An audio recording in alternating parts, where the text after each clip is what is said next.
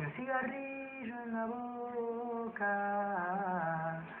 el techo dentro de un hueco, y una lata medio loca. Y termina la canción, termina diciendo, este, y un, y, un montón de diarios apilados, y una luz brillando en mi pasado, un millón de voces que me gritan, un millón de manos que me aplauden, y el fantasma tuyo, sobre todo, cuando ya me empieza a quedar solo.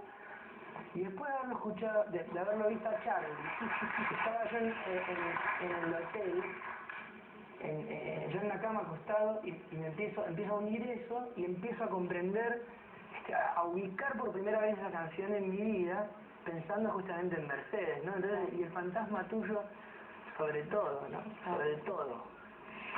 Y que ahora que estás viviendo vos ese momento tan fuerte, tan especial, yo creo que este, esas cosas nos identifican desde otro lugar también. ¿no? Claro. Si tenemos todo, si, que, si querés verlo de esa manera para mucha gente, tenemos un montón de cosas, mucha gente que nos quiere, Sí. pero nosotros a veces queremos que nos quiera esa persona. Claro, claro, seguro. Así que bueno, bueno, te, un rato más este, vamos Sí, a robar. Sí, claro, yo la estoy pasando muy bien, espero que vos también. ¿Eh? Encanta. Además no nos vemos nunca No. con, esta oportunidad de Eso poder charlar. Siempre nos cruzamos muy rápido, entonces... Sí, yo, yo le agradezco este programa que me, que me genera este living, porque conozco mucho más en profundidad a un montón de gente y, entiende un poco más un montón de cosas también. ¿eh? Así que es un placer. Bueno, Gracias. nos quedamos un rato más con Abel. Ahora está Marcelo con Karen Arranz este, en un homenaje al canto surero, que es de allá de tus pagos, de por allá. Así que mandamos un beso grande a, a Karen y bueno, Marcelo, diga todo lo que tiene que decir. Muchas gracias, Soli.